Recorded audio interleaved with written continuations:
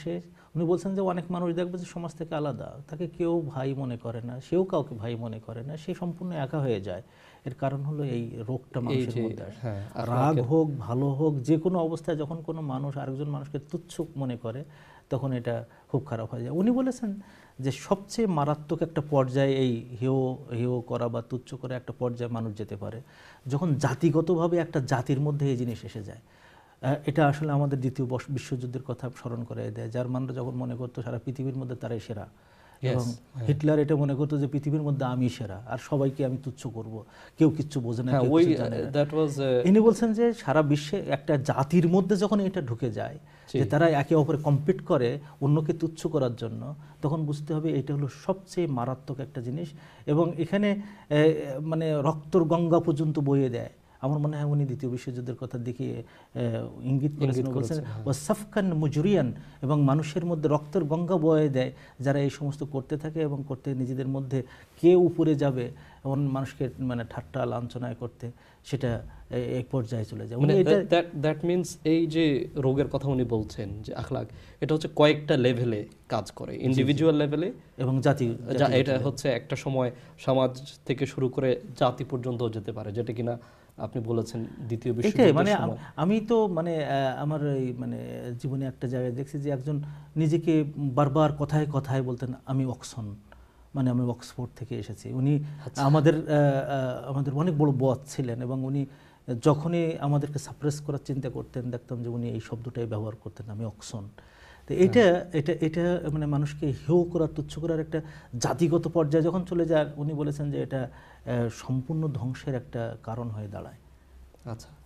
মানে যখন অহংকার কাজ করে যে মানুষকে হেয় করার এই দোষটা সম্পর্কে সালাফে সালেহাইন যারা ছিলেন খুব বড় বড় আলেম উলামা এবং তাবে আইন তাবে তাবে আইন এই ধরনের খুব বড় বড় আলেম উলামা যারা ছিলেন তারা এই সম্পর্কে অনেক আমাদেরকে ওয়ার্নিং দিয়ে গেছেন। তার মধ্যে দুইজনের নাম উল্লেখ করেছেন।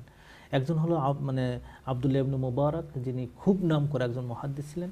আরেকজন হলো আইয়ুব ইবনুল কিরিয়া উনি হলেন মানে স্বশিক্ষিত মুসলিম।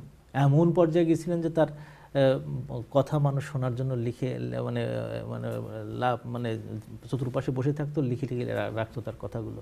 এই ইবনুল কাদিয়া এরা দুইজন বলেছেন যে উনি বলেছেন এরা দুইজন না আরও অনেকের কথা এরকম আছে যে মানিস্তাখাফা বিল ওলামা যারা আলেম ওলামাদেরকে হেয় বা তুচ্ছ করে যেটা এখন সাংঘাতিকভাবে ধরে গেছে একেবারে আবার নাটক থেকে শুরু করে নিয়ে রাস্তাঘাটে পর্যন্ত। আলেমদেরকে যারা হেয় বা তুচ্ছ করে আল মানে এরা বলেছেন যে তাদের আখেরাত শেষ হয়ে গেল। জি। দুই নম্বর হলো যে যারা রাষ্ট্রপ্রধান থাকে অথবা দায়িত্বশীল লেভেলে থাকে তাদেরকে যারা মানে ঠাট্টা তুচ্ছতাচ্ছিল্য দেখায়, তাদের দুনিয়া শেষ হয়ে যাবে। দুনিয়া শেষ। এবং যে তার বন্ধুদেরকে, ভাইদেরকে হেয় বা তুচ্ছ করে, তার মানবতা শেষ হয়ে যাবে। একটা সুন্দর কথা বলেছেন এই ইবনুল মোবারকের এই কথাটা।